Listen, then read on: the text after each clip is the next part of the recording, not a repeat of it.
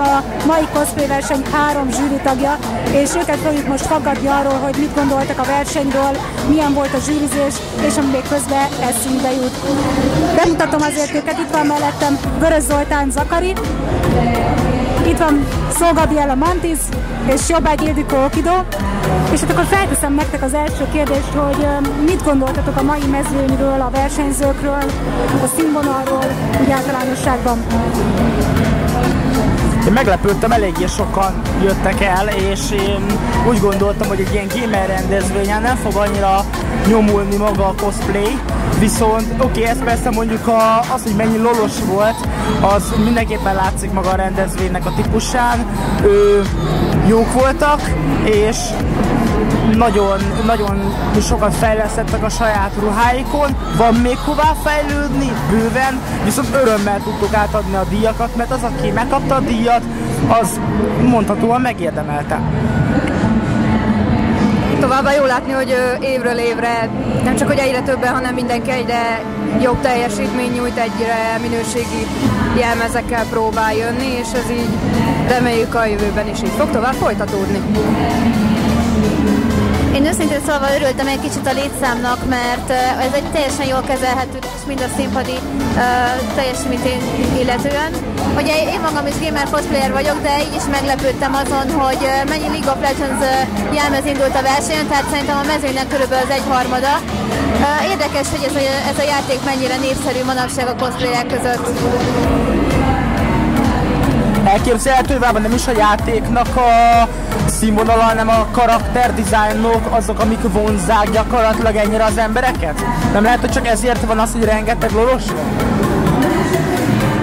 A játék is isteni lehet akkor. Vagy kipróbáljuk akkor ami újdonság lehetett ezen a versenyen, hogy most volt először zsűri kedvencem, úgyhogy minden zsűrinek a saját személyes kedvencét is ugye kiválasztottátok. Ez egy újítás, ugye ezzel megemelkedik egyrészt a díjaknak a száma, másrészt ugye lehetőség van arra, hogy mindenki tehát, hogy ne csak egy zsűri kedvence legyen, hanem minden zsűri ugye saját uh, szempontjai alapján válasszon, uh, válasszon nyertes, hogy ez mennyire tetszik nektek személy, személy szerint ez az ötlet. Szerintem ez egy nagyon jó ötlet, mert rengetegszer találtuk magunkat úgy, hogy bár minden döntés annyira közös, hogy nagyon, és mindig úgy állunk föl, hogy, hogy egyhangú, viszont mindenkiben megmarad egy olyan kis gondolat, hogy van valami, amit nagyon értékelt volna, viszont az ő saját maga értékrendszer alapján felelt meg neki az a bizonyos versenyző, és itt természetesen semmi személyeskedés, hanem tényleg így a ruha elkészítésével kapcsolatban, és ez legalább most egy kicsit kifejezésre juthat, és és akkor így legalább tudunk támogatni olyan fajta szempontokat is, ami biztos, hogy, hogy építeni való. Ugye így végül is, ami csak az egyéni és csapatos kategória lett, így pluszban még lefettünk három területet az egyéni preferenciáink szerint ki mit preferál általában jobban a ruhakészítés terén, például én a festést és a varrást, így meg van mindenkinek egy ilyen különösebb szempont, amit tudunk értékelni. Én is nagyon örültem, hogy három díjjal bővült ugye a, a, a versenydíjazása, hogyha élhetek ilyen szó ismétéssel. És ugye ebben az a legjobb, hogy, hogy különböző részletekre figyelhetünk, különböző vetületei a cosplaynek ugye díjazásra kerülhetnek, és mindannyian kicsit más szemmel néztük ugye a, a versenyzőket, és ahogy a színpadon is elmondtam, én a, én a rejtett részleteket kedvelem a leginkább, ugye én magam is azt próbálom a jelmezeimben leginkább megvalósítani, és ugye így, így volt olyan, akinek, akinek meg tudtam ezt találni a munkájában, és ő is kapott egy kis külön nyereményt, egy kis személyes nyereményt, mert ugye nem csak egy oklevélről és egy ajándékról volt szó, hanem mindannyian valamit is apró ajándékot adtunk a választottunknak.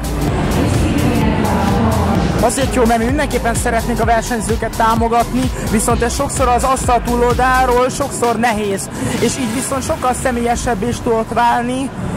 az, hogy mi, mi adhattuk át ezeket a saját díjakat, és ezáltal még, még emberek közelibb lesz a zsűri, ami szerintem egy nagyon fontos szempont. Akkor a végére egy olyan kérdés, van-e esetleg olyan, amin javítanátok, vagy ami esetleg, ami hiányosság, amit éreztetek a zsűrizés kapcsán mondjuk, vagy egy ötlet a jövőre nézve. Ha nincs ilyen, az sem probléma. Mindenki mélyen gondolkodik.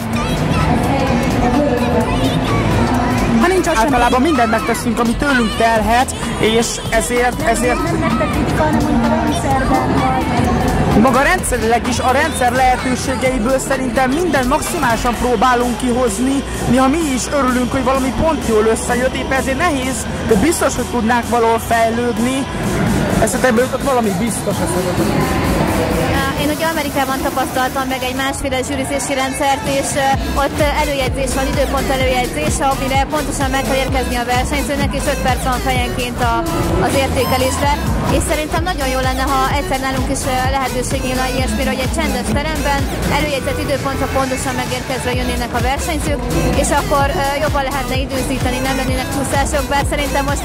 ez nagyon jól abszolváltuk, tehát időben lezártunk mindent, megjelent majdnem minden versenyző,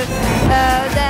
esetleg ezzel lehetne fejleszteni mind a versenyzők, mind a zsűri tagok komfortérzetét a zsűrizés folyamán.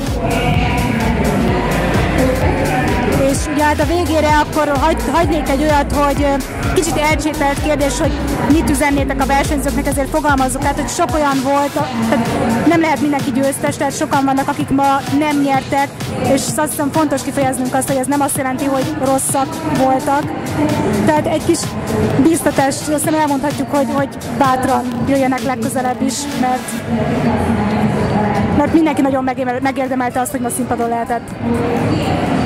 pont ma fogalmaztam meg, hogy igazából nagyon hálátlan dolog zsűrinek lenni, mert voltak éppen rá vagyunk kényszerítve a hóhér szerepére. Annyi munka van a ruhákban, mi is dolgozó emberek vagyunk, és én nagyon-nagyon jól tudom, én, aki a kezem munkájából kell, hogy éljek, mint kézműves, hogy milyen érzés az, amikor én őszintén azt mondom, hogy ebben a dologban van fél év munka, és, és pokoli egyszerűen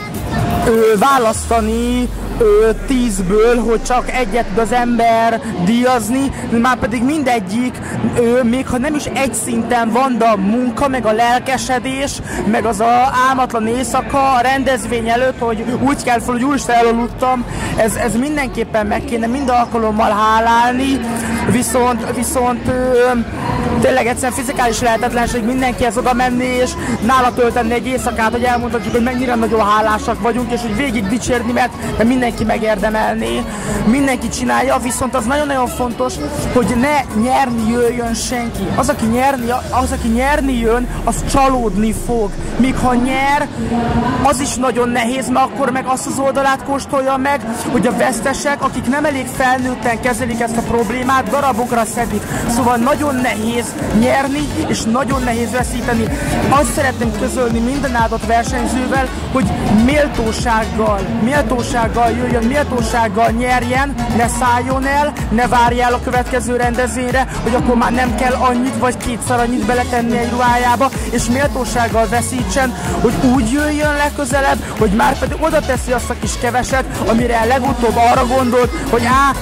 jó lesz a ruha enélkül is és bíztatni a többieket, és gratulálni a nyertesnek, és a nyertesnek pedig megköszönni a többiek részvételét, ami ritka, főleg eme határaikon belül, de hiszem egyébként, hogy tudunk kulturálisan is fejlődni. Én is csak hangsúlyozni tudom azokat, amiket Zeki az előbb elmondott, és én annyit tennék hozzá, hogy ne felejtsük el, hogy az a neve a, ennek a tevékenységnek a cosplay, tehát a play, ugye, mint játék, tehát játszunk, érezzük jól magunkat, és a verseny az csak egy ilyen plusz, hogy felmehetünk a színpadra, ugye megmutathatjuk magunkat a nézőknek, a kameráknak, és az, hogy valaki a végén kap egy díjat, az azt jelenti, hogy ő lehet, hogy egy kicsit többet tett hozzá, és uh, uh, ismerjük el azt, és legközelebb tanulva ebből próbáljuk meg még többet belerakni, mert ugye ha valaki nem nyert, az nem azt jelenti, hogy nem jól sikerült, viszont biztos van hová fejlődnie. Ezt vegye mindenki építő jellegű kritikának, ha mondhatom ezt egyáltalán kritikának, mert tényleg a cosplay az nem erről szól, és nem a, nem a ki nyer, ki nem nyer, hanem a játék. Maradjunk, maradjunk meg az eredeti céljánál ennek a tevékenységnek. És azt tudni kell, hogy nem alapanyag függő a cosplay, mert sokan azt hiszik, hogy ha nagyon drága alapanyagot dolgoznak, akkor az alapanyag az megcosplayelődik önmagától, és nem kell azt a fajta tehetséget beletenni, amit hogyha tehetséget beleteszel, akkor egy nem annyira minőségi alapanyagból is tudsz ugyanolyan minőségét csinálni, szóval félreértés ne essen, ha valaki jó minőségű alapanyag után nyer, az nem azért volt, mert olyan alapanyagot használt, hanem azért, mert beletette azt a munkát, amit amúgy nem olyan alapanyagból is bele tudott volna tenni. Ez fontos. Akkor szeretném megköszönni, hogy itt voltatok, zsűriztetek és végigcsináltátok ugye az egész versenyt a versenyzőkkel, és találkozunk legközelebb is.